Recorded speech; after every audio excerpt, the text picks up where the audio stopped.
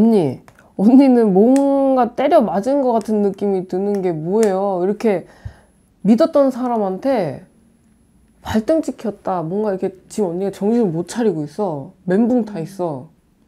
맞아요. 지금 이거 남, 남편은 아니지? 알려주신 분이. 아, 지금 사실 동거하고 있거든요. 응. 네, 동거하고 있는데 그 사람하고 지금 궁합이 잘 맞는지 결혼하시면 안 돼. 안 된다고요? 동거는 하고 있는 거는 맞는데 네. 뭔가 구려. 자꾸 언니랑 합의 들어야 되잖아. 근데 이상하게 밖에다가 무슨 이, 이 사람이 언니를 두고 바람을 피는 것 같은 느낌이 들어. 지금 바깥으로 지금 눈을 돌리고 있는 건 제가 알고는 있어요. 짐작은 하고 있었고 그랬는데 아 근데 지금 헤어지기가 좀 아, 제가 너무 고민이 돼서 그러니까 어, 내가 객관적으로 봤을 때는 네. 끝까지 갈 수 있냐는 아닌데 이상하게 네. 언니랑 살고 있으면은 언니랑 살다가 이 남자가 딴 여자랑 바람 핀 것처럼 보여야 되는데 네. 그게 아니라 예를 들어서 가정이 있는 남자인데 여기에서 언니랑 바람을 피는 것 같은 느낌이 자꾸 든다니까? 아니 사실은요 아, 어디서부터 얘기를 해야 되지? 아 제가 그 지금 만나고 있는 사람 같이 살고 있는데 5년 정도 됐거든요. 근데 이 사람이 언제부턴가 좀 이상하더라고요. 근데 제가 너무 힘들어서 이 사람한테 도움을 많이 받았다고 그랬잖아요.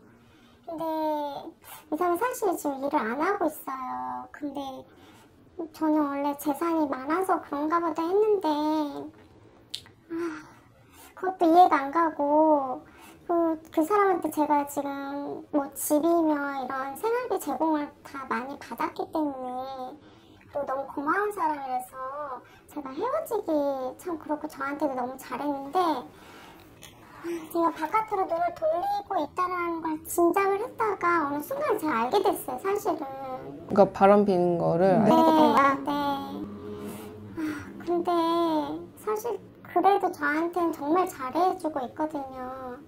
근데 그건 알고 보니까 그 전에 만났던 사람이라고 그래서 근데 걱정하지 말라고 하긴 하는데 이게 걱정이 안 돼. 아, 그러니까 네, 전에 네. 만났던 전 여자 친구랑 계속 연락을 하는 상태로 네. 언니랑 지금 지내고 있는 거야? 그러니까 저도 사실 잘 몰랐어요. 그럼 맞네. 저 뭔가 이, 여기가 가정이 있는데 언니랑 바람 피는 것 같은 느낌이 드는 게 전 여자 친구로 만나니까 네. 당연히 그렇게 네, 느낌. 느낌을 받을 수밖에 없는데 네. 근데 이 관계가 참 이상하게 느껴진다. 아, 확인했어요? 그 사실은 아 알고 보니까 그 전 여자친구가 70 먹은 할머니더라고요. 아, 아 그래서 제가 지금 지금 뭐 한 거의 스물 몇 살, 거의 아니. 30살 가까이 차이 나는데? 네, 아니 스무 살에 만났대요. 그 어디 뭐 카페인지 어디 가서 알게 된 첫 여자라고 하더라고요. 근데 저는 진짜 이게 상식적으로 이해가 안 가요. 이게 맞는 건지. 엄마 뻘이잖아. 네. 그래서 처음엔 저 제가 싫어서 거짓말 하나 그랬는데 그게 나중에 알고 보니까 그게 아니더라고요. 그냥 여자친구가 아니네. 네. 그냥 현실상 결혼을 못했을 뿐이지 이- 스무 살 때부터 지금 거의 30년 가까이 만났으면은 부부 사이나 뭐가 달라? 그래서 저는 이 사람하고 솔직히 뭐 다른 걸로 문제될 게 하나도 없었거든요. 여태까지 살면서. 그리고 저한테 도움을 많이 준 사람이라서. 그래서 계속 살고는 싶은데 지금 이걸 알고 나서 제가 어떻게 해야 될지 모르겠어요. 근데 그쪽이랑 인연 안 끊길 것 같아 언니. 그 전 여자친구라는 분이 나는 되게 지금 좀 뭔가가 사- 약간 상문 들어오듯이 좀, 좀 아프게 느껴지고 자꾸 그러거든요? 아, 아, 그 여자가 아프긴 한 것 같더라고요. 나이도 많고. 근데 어쨌든 사는 건 저랑 사는 거잖아요. 근데 이걸 어떻게 끊을 방법은 없을까요? 그 여자를. 네. 그럼 언니가 도움받았다고 했잖아, 아저씨. 네. 내가 봤을 때는 그것도 자기 돈 아닌 것 같다. 에? 아, 아닌데 그 사람이 저한테 다 자기가 예전에 다 모아놨던 거라고 했는데 언니 지금 언니랑 사는 동안 일 안 하셨지? 어, 예, 뭐 이렇게 규칙적으로 일하는 건 못 본 것 같아요. 그 돈 어디서 나왔겠어? 아, 그럴 수도 있, 있다는 생각 못했네. 그거야. 아, 그럼 결국에는 언니는 전 그냥 여자친구 와이프인 듯이 그 분한테 아저씨가 가지고 온 돈으로 언니 먹여 살린 거야. 어, 그것까지는 전혀 생각을 못했어요. 그거야. 그래서 나는 내가 내가 그냥 봤을 때는 그 분이 지금 많이 아파 보이고 길어야 2, 3년? 밖에 안 보여, 솔직히. 그래서 지금 언니가 그냥 나 너 못 살겠다. 이렇게 해서 바람 폈으니 너 이혼해 하, 아 이혼은 아니지. 동거니까. 근데 어? 헤어지자. 이렇게 하면 아마 저 남자가 못 받아들일 거야.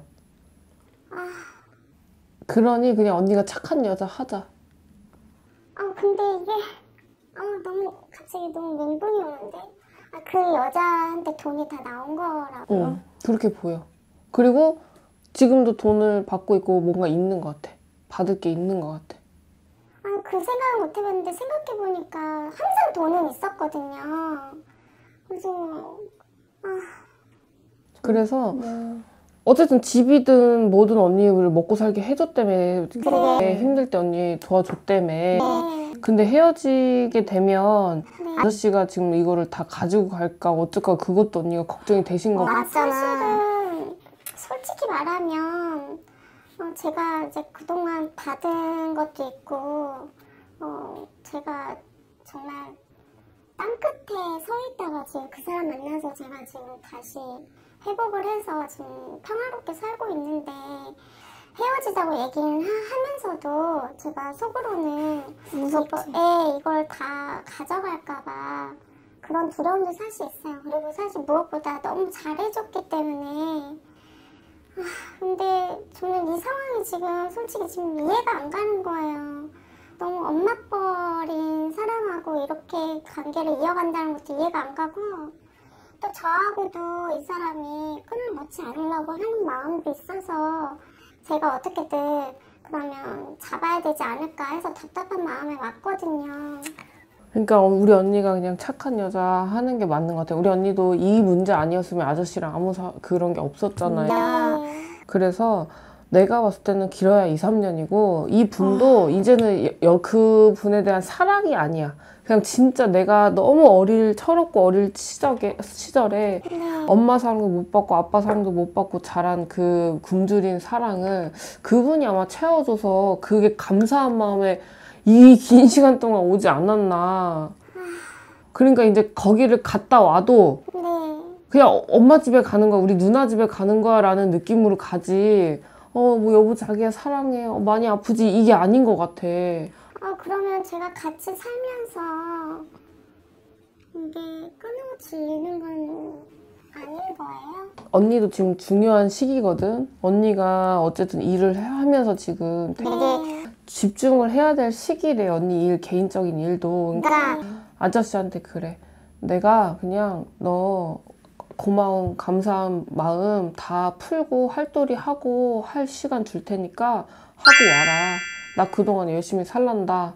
대신에 너만 보면서 기다리진 않을 건데 네가 다시 돌아왔을 때 내가 똑같은 마음으로 있으면 그때는 같이 함께 할 수 있겠지. 네. 어, 일단은 너가 마음 끌리는 대로 그 여자한테 감사한 마음 표현하고 와라 라고 얘기하고 네. 잠시 잠깐 이별을 하는 게 나는 맞는 것 같아요. 그럼 지금 놔줘야 된다고요? 지금 엄청 갈등할 거야. 내, 자기 인생으로 보자면 이 언니랑 사는 게 맞고 네. 자기 과거를 보자면 너무 받은 게 많은, 많은 거야. 이 여자분한테. 그러니까 자식이 아마 없이 보여 나는. 그러니까 그 분이 아예 혼자 있는 것처럼 보여. 그러니까 뭔가 수발하거나 뭔가를 할 사람이 전혀 없, 없는데 이 남자밖에 없는 거야. 그래서 끈을 못 놓고 있는 것 같거든요.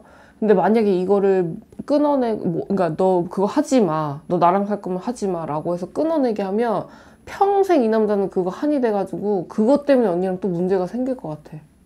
아, 그러면 제가 그런 얘기 또 하면 안 되겠네요. 아무 소리 하지 말고 그냥 나 이만저만하고 내가 너무 이, 이 일로 힘드니까 너 그런 마음으로 감사한 마음 표현하고 싶으면 갔다 와라 그냥.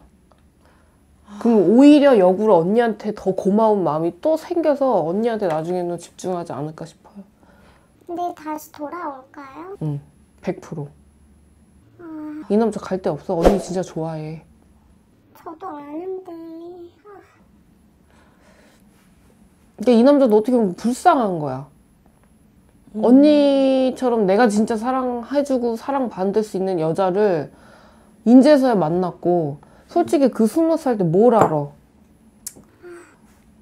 그러니까 그냥 막왜 이런 거 있잖아. 엄마 아빠 사랑 못 받았는데 딱 그 사랑 채워지면 그 여자한테 올인하듯이 진짜 엄마 같은 분 만나서 그렇게 됐던 것 같아요. 그러면 저는 그냥 아무 소리도 하지 말고 그냥 보내줘야 된다고요? 아, 이게 마음이 너무, 힘들지. 네, 마음이 너무 힘들어요. 근데 내가 봤을 때는 그게 지금 현명한 선택인 것 같아. 어차피 하지 말라고 안 할 사람 아니거든.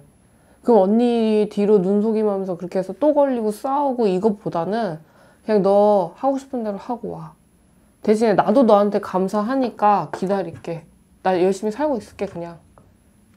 가서 그런다고 해서 여자 남자 행위를 하면서 뭐 이런 것도 없어. 진짜 누나 뭐 아픈 거 수발하고 엄마 아픈 거 수발하듯이 하고 오는 것 같아 지금은. 아, 그럴까요? 응.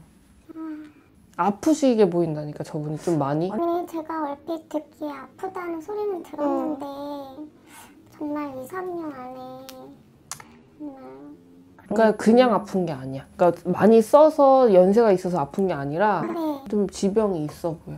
아 그래요? 어. 아, 그래서 아마 더 필요로 한 손길을 찾다 보니까 이 남자를 찾게 됐고 이분도 자기가 너무 오랜 시간 감사한 마음으로 받은 게 많아서 음, 그거를 뿌리치지를 못하고 언니한테 말 못하고 그랬다가 걸린 것 같거든. 그러니까 언니도 그냥 하, 그냥 좋은 게 좋은 거라고 그냥 언니도 진짜 아까 말했잖아. 내가 진짜 힘들 때 이로 이 사람으로 인해서 살았다. 맞아요. 그러니까 그 남 똑같은 마음인 거야 지금 그 남자나 언니나 상대가 다를 뿐이지.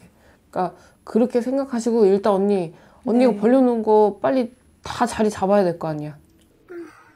아니 그, 그거에만 집중해. 그럼 꼭 돌아온다는 거죠. 어.